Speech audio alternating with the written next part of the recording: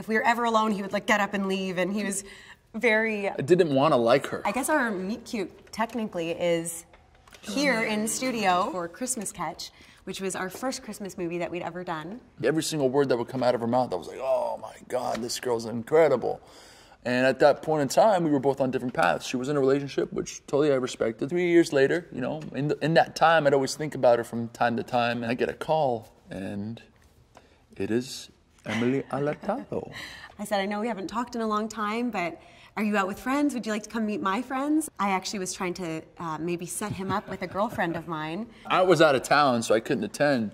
But while I'm on the phone with her, I said, How are you? I haven't heard from you in a long time. That's when she spills the news. You know, I've been single for quite some time. And I'm like, mm, Beautiful, like, like, like flashlights and hearts going. I'm like, oh, cool. I'm like, well, let's grab a coffee next week just to catch up. Now we're here. Yeah, and now we're getting married. I feel like every day is a meet cute story between us two.